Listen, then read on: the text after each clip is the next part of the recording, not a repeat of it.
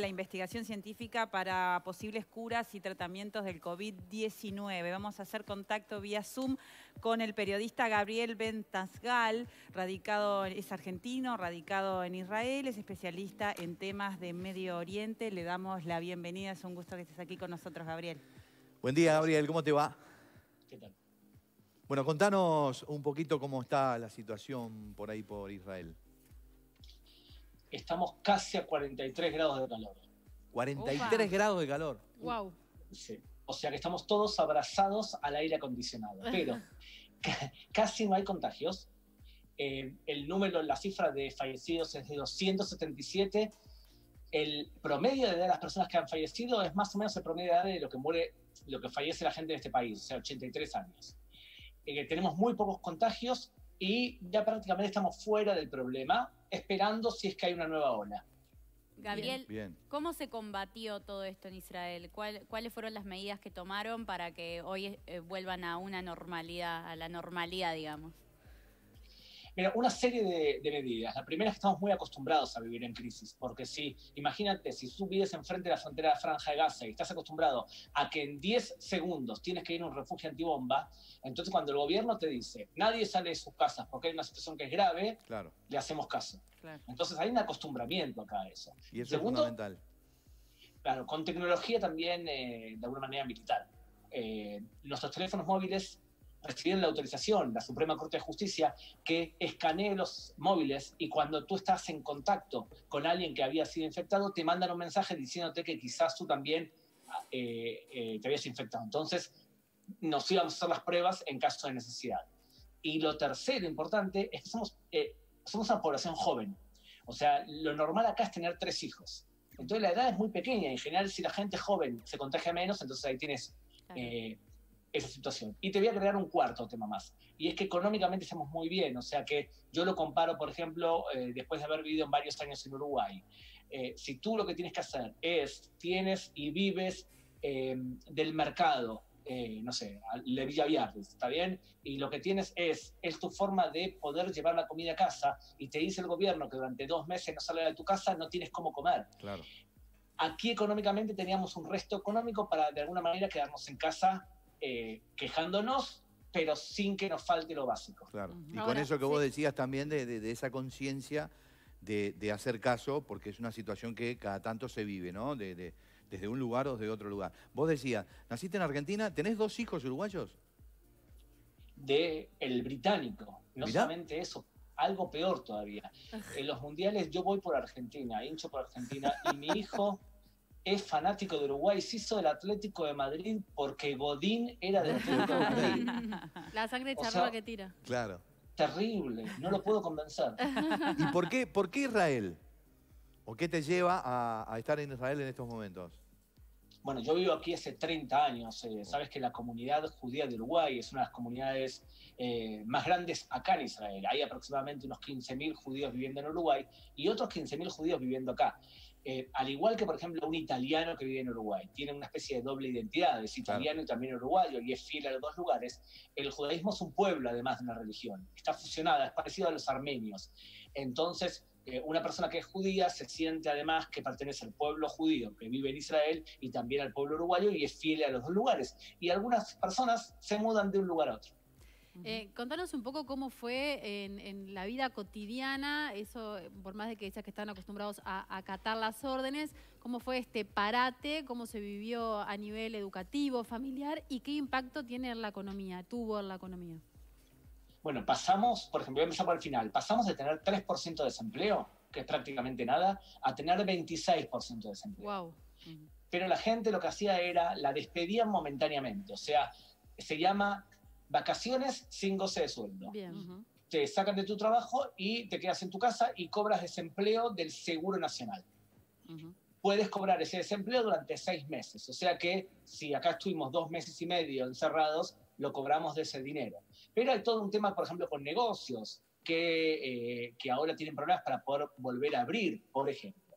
De todas formas, el gobierno tomó medidas escalonadas. Primero nos dijo, eh, no pueden eh, ir al supermercado, no pueden salir a, a restaurantes.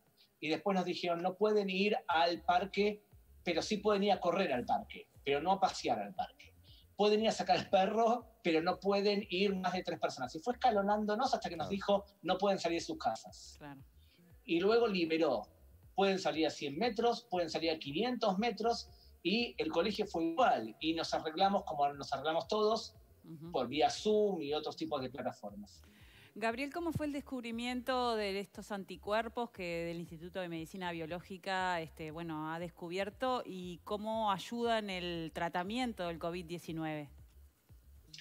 Mira, en el año 1986, Saddam Hussein, presidente de Irak, tiró unas bombas de gas mostaza a eh, los kurdos en Irak. ¿Está bien?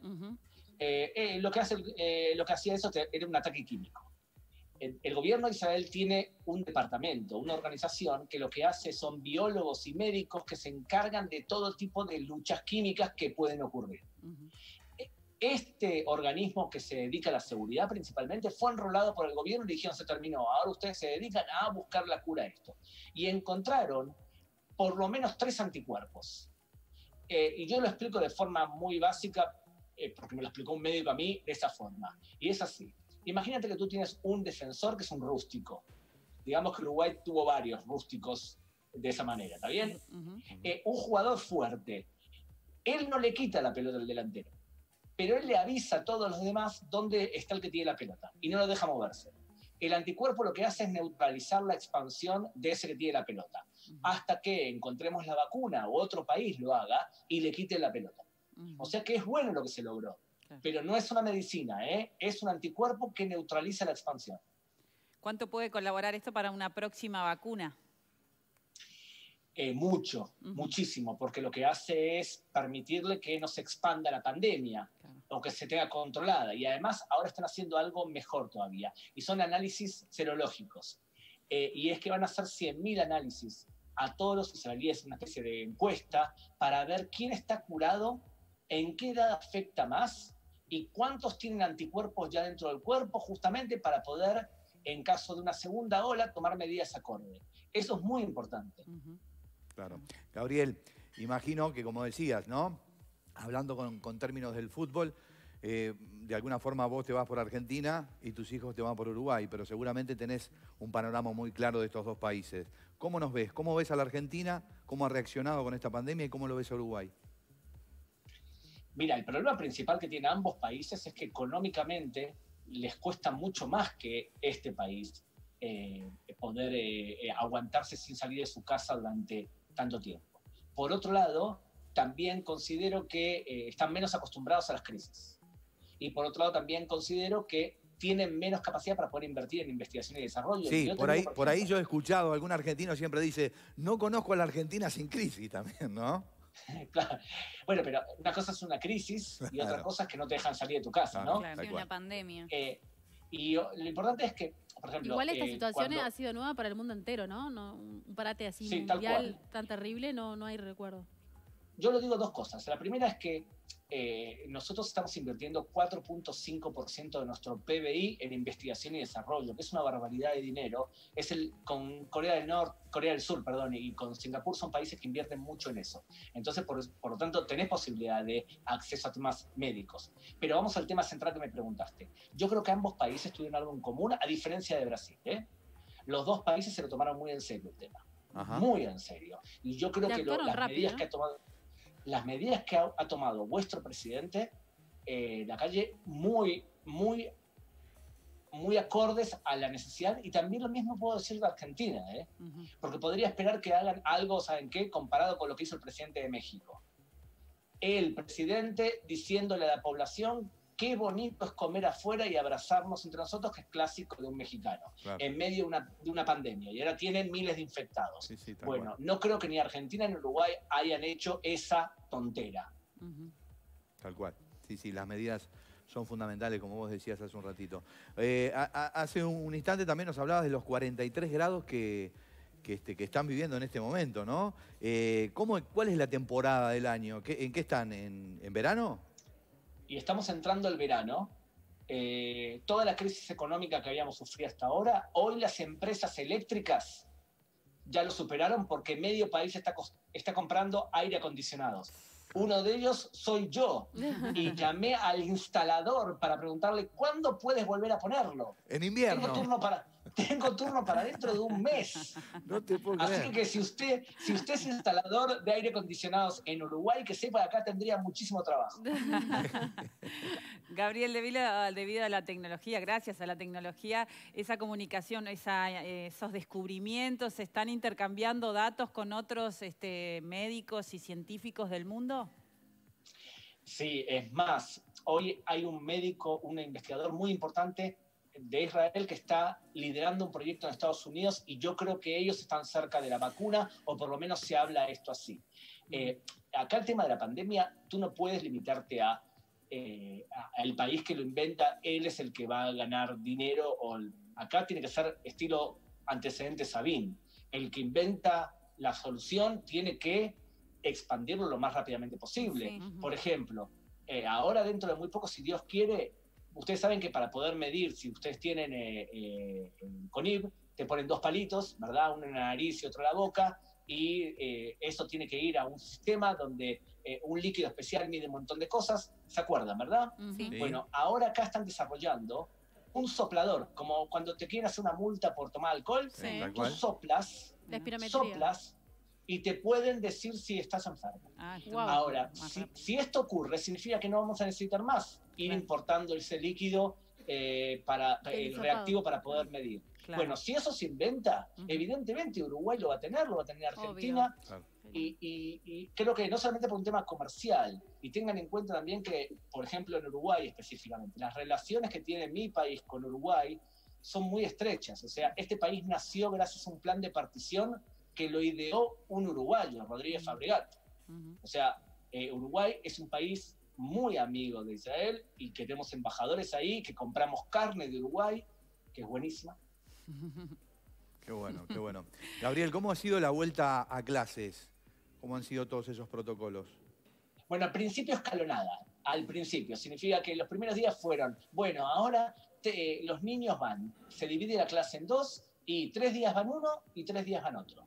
Luego les dijeron, van todos con máscara y cada uno tiene que firmar un documento que dice que no estuvo con fiebre las últimas 24 horas.